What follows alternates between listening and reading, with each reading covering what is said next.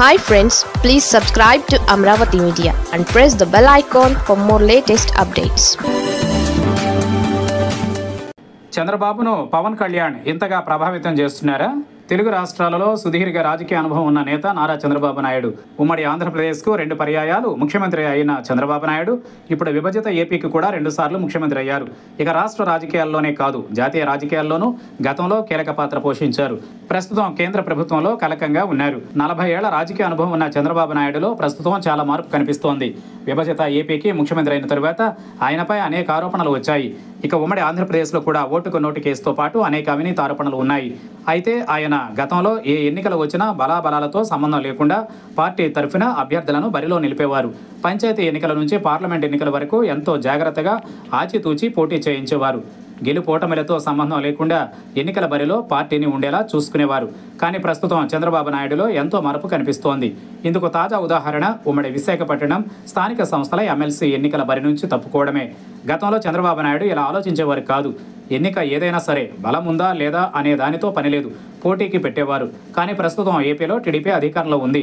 అయినా కూడా ఆయన స్థానిక సంస్థల ఎన్నికల బరిలో అభ్యర్థిని నిలపలేదు. గతంలో పోటీ చేయకపోతే ప్రజల్లోకి తప్పుడు సంకేతం వెళుతుందని భావించేవారు. కానీ ఇప్పుడు తప్పుకోవడం ద్వారానే సానుకూలత సాధించుకున్నారు. రాష్ట్రంలో అధికారంలోకి వచ్చాక వచ్చిన మొదటి ఎన్నికల బరిలో అభ్యర్థిని నిలపకపోగా తమకు బలం లేదు కాబట్టి విలువలను కాపాడేందుకు పోటీ నుంచి తప్పుకున్నామన్న సంకేతం ప్రజల్లోకి వెళ్ళేలా చూసుకున్నారు. ఉమ్మడి విశాఖ స్థానిక సంస్థల ఎమ్మెల్సీ ఎన్నికలలో పార్టీల బలాబలాలు పరిశీలిస్తే ఇక్కడ స్థానిక సంస్థల ఎన్నికలలో వైసీపీకి ఆరు వందల ఓట్లకు పైగా బలం ఉంది. టీడీపీకి కాస్త అటు ఇటుగా రెండు వందల ఓట్లున్నాయి. రెండు పార్టీల మధ్య ఓట్లలో భారీ వ్యత్యాసం ఉంది ఇక్కడ వైసీపీ అభ్యర్థి గెలుపు దాదాపు ఖాయమే. ఈ నేపథ్యంలో అధికార టీడీపీ అభ్యర్థిని బరిలో నిలిపితే ఓడిపోయే అవకాశాలే ఎక్కువగా ఉన్నాయి. దీంతో అధికారంలో ఉండి ఓడిపోతే ప్రజల్లోకి తప్పుడు సంకేతాలు వెళతాయి. ఈ నేపథ్యంలో హుందాగా తప్పుకోవడం ద్వారా సానుకూలత పొందవచ్చునన్న ఆలోచన చేశారు టీడీపీ అధినేత చంద్రబాబు. ఈ క్రమంలోనే పోటీ చేయడం లేదని హుందాగా ప్రకటించారు. సాధారణంగా చంద్రబాబు నాయుడు బలంతో పని లేకుండా ఎన్నికలలో పోటీకి ఎప్పుడూ సై అంటారు. కానీ రాష్ట్ర విభజన తరువాత నుంచి ఆచితూచి వ్యవహరిస్తున్నారు. రెండు వేల పద్నాలుగు ఎన్నికలలో తెలంగాణ ఆంధ్రలో పోటీ చేశారు. ఆంధ్రాలో అధికారంలోకి వచ్చారు. తెలంగాణలో కూడా చెప్పుకోదగిన సీట్లు సాధించారు.